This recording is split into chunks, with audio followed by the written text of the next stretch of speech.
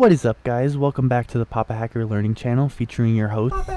But seriously though guys, today's video is going to be absolutely extra special and today we're going to be talking about the absolutely brand new Call of Duty Modern Warfare 2019 and in support of this I will be giving away to every single person who hits that like button 7,000 fully automatic assault rifles. That is right guys, if you hit that like button you will be getting 7,000 fully automatic assault rifles. That is right guys, no lie, no scam whatsoever. They will all be mailed to you but obviously will all be legal. But if you guys do already have 7,000 fully automatic assault rifles, I ask you to please go ahead and hit that like button anyway. Papa Hacker bro! But guys, today's video is mostly just to clear up most of the rumors, most of the fake leaks about Call of Duty Modern Warfare. I know guys, I know what fake news going around on the internet, fake news going around on YouTube. I know guys, it's just as surprising to me as it is all of you guys. But here on the Papa Hacker Learning channel, we only strive to spread the truth. So guys, the absolute biggest rumor going around right now, which it's ridiculous, it is absolutely ridiculous that Call of Duty decided to name their brand new game, their brand new game for 2019, Call of Duty Modern Warfare. That is right, guys. It is an absolute copy of the game that came out in 2007. It is an absolute copy of the game that came out in 2016. But guys, it's actually a brand new game. It has nothing to do with the other two games besides the title. And guys, the reason behind this is Call of Duty, the geniuses at Call of Duty headquarters did not want to name the game Call of Duty Modern Warfare 4 because they felt that that would be too close to Call of Duty 4 Modern Warfare. So they decided just to take the 4 out altogether and somehow decided that that would be a lot more clear that this is a completely new game than to just name it Call of Duty Modern Warfare 4 like everyone was expecting. But guys, I imagine that they had a really good idea behind this. I imagine that Call of Duty knows their player base. They know their player base when it comes to Call of Duty Black Ops 4. Most of their player base wasn't even born when Call of Duty 4 Modern Warfare came out. So they figured no one who plays our game is actually going to get it confused. But heads up guys, everyone thought it was a reboot. Alright guys, so besides them having a really dumb name for the game, like honestly they couldn't have picked a more stupid name for the new Call of Duty game. Honestly guys, Call of Duty Hello Kitty Island would have been a better name. Alright guys, the most exciting thing about Call of Duty Modern Warfare coming out in 2019 is going to be cross-platform compatibility. That is right guys, every single person playing Call of Duty Modern Warfare is going to be able to play together, whether you're playing on Xbox, whether you're playing on your mom's laptop, whether you're playing on your toaster, whether you're playing on your microwave.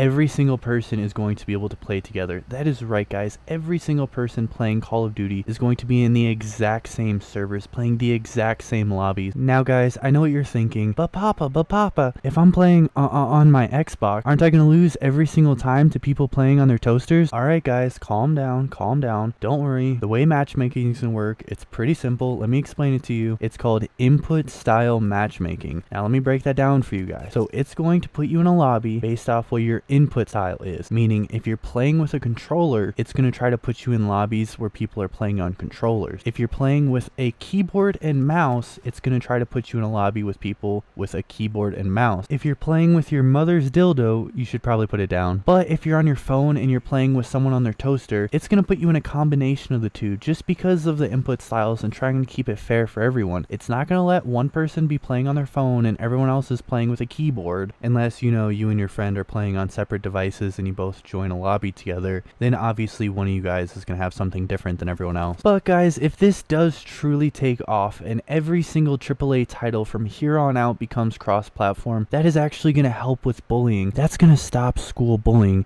That is right guys, it actually might stop your pressure into buying different consoles. Now this is truly exciting because you will no longer be required to have the same console as your friend and be playing the same games together. That means you can play on whatever you prefer and you can still play with other people online. Because guys, I am absolutely 100% sure every single person watching this video right now has been bullied at least once in their lives. Whether it's your friends trying to peer pressure you into buying the same console as them because that's the one they prefer, or getting made fun of because you're stupid and ugly. But seriously though guys, I know I have been bullied before and I'm pretty sure every single one of you guys have been bullied into trying to buy a console that your friend has or you've been bullying other people because you want them to buy the same console that you have. But guys, on a serious note, if you are being bullied, please reach out to someone. Reach out to your parents, reach out to your teacher, reach out to the toaster above the bathtub. But seriously guys, if you are bullied, good things do come of it. Most great people have been bullied as a child. Albert Einstein was bullied as a child. Barack Obama was bullied as a child. I was bullied as a child. And look what happened to me. I went on to become a successful Minecraft YouTuber. And I'm sure something great can happen for you guys as well. But if you're still being bullied as an adult, it's probably because you're watching Papa Hacker on YouTube.